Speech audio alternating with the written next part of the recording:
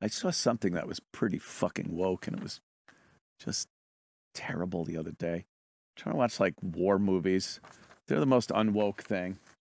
Like older war movies. Oh, I was watching. This is so funny. I was watching uh, When Worlds Collide. it's an old one from the fifties. Uh, and uh, there's there's this big thing, and it's heading toward Earth, and it's going to blow up Earth. So they build a, a spaceship to get off of Earth and land on this new planet that's circling the big thing that's going to hit Earth. You know, it's like a sun. So they figure, oh, we'll, you know, we'll do that. And no one believes it at first, but then they start believing it. And then there's greedy businessmen that want to buy their way onto it and shit. But I'm watching this and I just, uh, yeah, the greatest shock of all time. Written in the stars is a message of doom for this, our world. And now, in the most Say shattering experience the screen has ever given you, Paramount tells what could happen within your lifetime when worlds collide. What? An astronomer checks and double checks his horrifying discovery. Astronomer a distant star racing is, uh, through space toward an inevitable collision Dr. with this planet. Uh, the, The, United Nations meet in emergency session. All conflicts pale before this threat from another world. Major if You wait Healy, until the danger is visible to the naked eye, it will be too late to escape. The United Nations. mountaintop, There wasn't one black person in this movie. Not one black person in this movie, I swear to you. Noah's Ark to carry a few Not even from a distance. survivors I think that's black. civilization They did not put one black person on the spaceship. world, reaching the heights of self-sacrifice. The think depths she of the Indian. animal lust for survival as they fight to be among the few who can be saved. Yeah. Let's take the ship away from them! Come on! Someone's always full of rabble Fighting among when they're leaving you to die Fighting on against Earth. time as doomsday is upon them. That guy in the wheelchair is funny. you scientists are crackpots.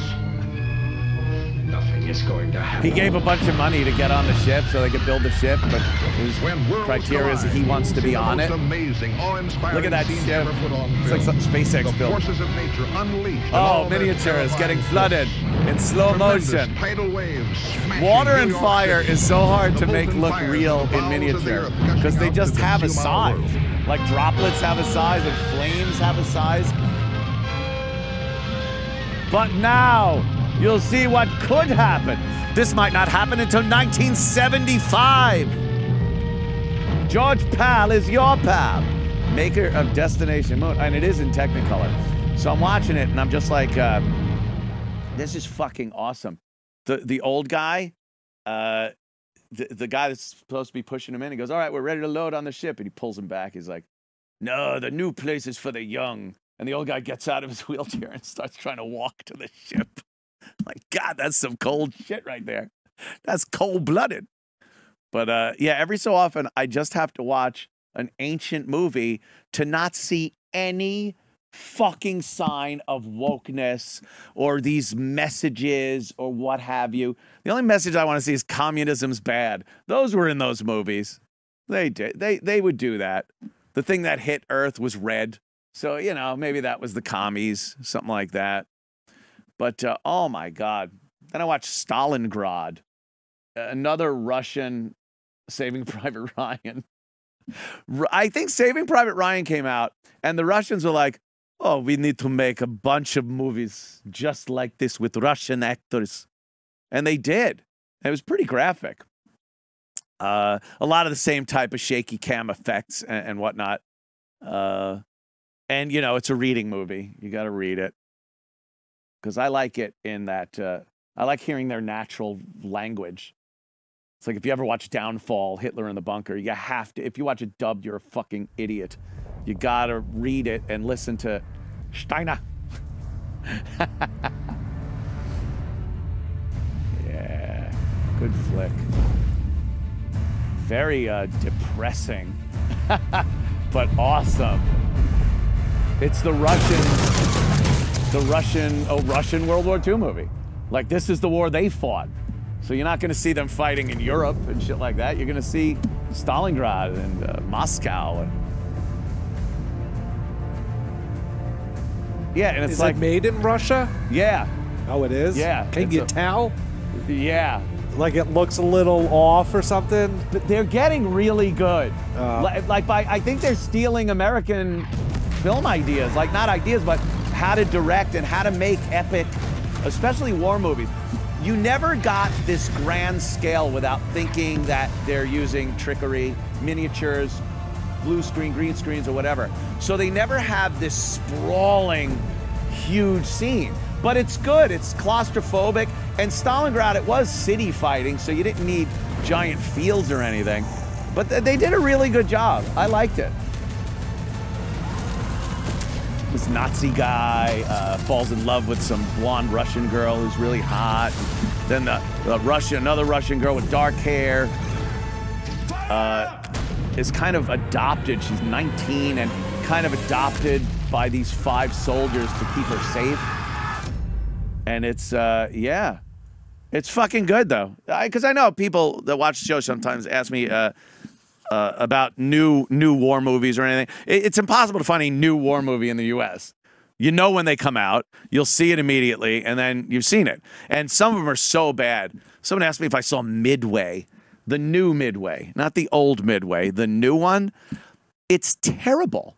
The CGI in it is ab- abominable. I'm willing to give some leeway with CGI. Look, I'm not going to go, oh no, I want real fucking, I want a thousand real bombers in the air. Could cost you a few bucks. But when it looks like a video game, like it looks like the planes in a video game, like, come on, just some work.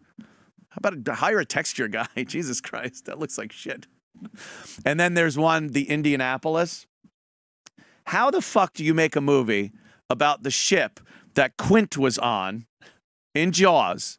He tells one of the most compelling stories, some of the most amazing dialogue an actor has ever uttered on a screen about his experience on the Indianapolis with the sharks and the torpedoes and and and that bit of of film makes it very difficult for you to make a movie about the Indianapolis because you're judging it on Quint's speech.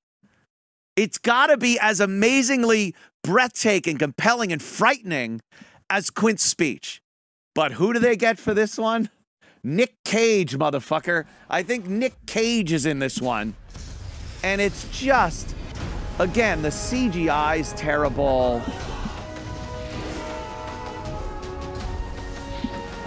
The music is this typical.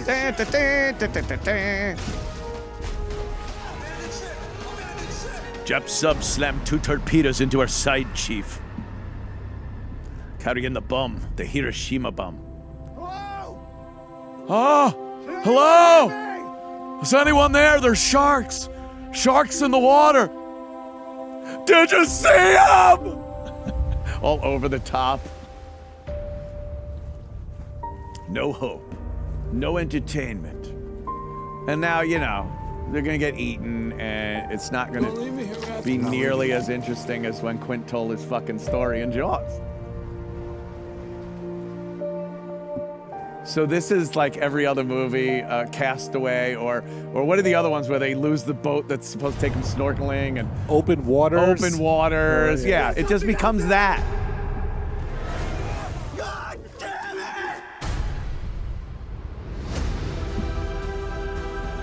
The fucking belly button disaster or something.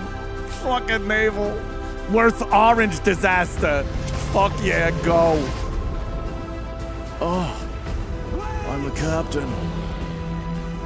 I had to watch my men die. Oh, with the sunglasses. You're being accused of hazarding your ship. How do you plead? Not guilty. Not Guilty. Tom Sizemore. Like, you know, if a war movie has Tom Sizemore in it now, that it's bad. Tom Sizemore is one of the definitive war movie actors, but he is a drugged out mental patient. There's something in the water. There have been everywhere. Oh, the love story. Land. Big old PBY. I'll never put on a life jacket again. There it is. Yeah, well, this is it. And uh, this is what modern war mo- movies are. They try to put them together very quickly and cheaply by using a lot of green screening. And, uh, you know, they try to pick these classic stories that people will know Midway and uh, Indianapolis, and then they're just not very good. So I had to go to other countries for my war movies. And I'll tell you, those Russians are pretty goddamn good uh, at that. So are the English. I watched. Um, I also watched 1917 again, and it's it's one of the one of the best filmed fucking movies you'll ever see. It looks amazing. The movie just looks great, and I know that it's kind of gimmicky that they track to make it look like it was a single shot through the whole movie. Uh, it works. It works for the movie. You feel like you're on the walk with this motherfucker or these two guys for a while, anyway. And then uh, it just like the the the lighting and everything. They go from scenes where it's it's kind of bright and green on open fields, and you kind of almost let your guard down, and then the scenes with the flares just constantly going off and changing uh, the lighting on all the buildings that this guy's trying to walk through while he's being shot at. Uh, it's a great movie. I fucking I've watched it probably three times now, and uh, it's one of those movies I like better uh, each time. And the stupid English actors are so good. English actors are really fucking good. Maybe it's just the accent. I don't know. I was just gonna say it's like cheating the accent. Anyone yeah, knows the accent, accent Australia, really is South a cheat because you're just like he sounds good, sounds smart. sounds smart. he sounds like yeah, he's English. It's got to be. You know, he's a good guy.